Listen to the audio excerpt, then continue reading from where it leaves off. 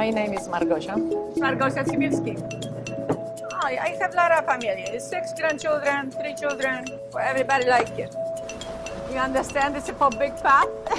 It's to make one big batch. It's a two-day process, and we break it up for two days so that everything is cooked according to the way it needs to be. This is ready for pots. Sometimes it's 80 gallons, sometimes it's 100 gallons for one.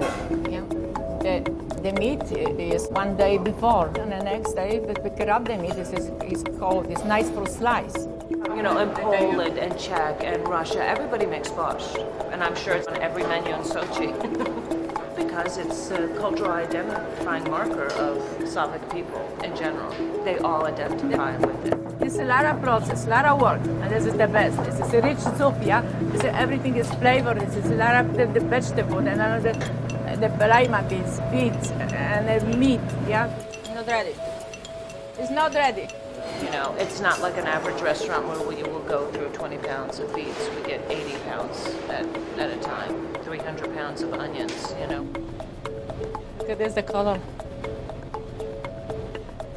Yeah, so beautiful. I was just recently told that borscht is on the menu in a McDonald's in Tokyo because there's so many Russian emigres there. So it's it's what we identify with.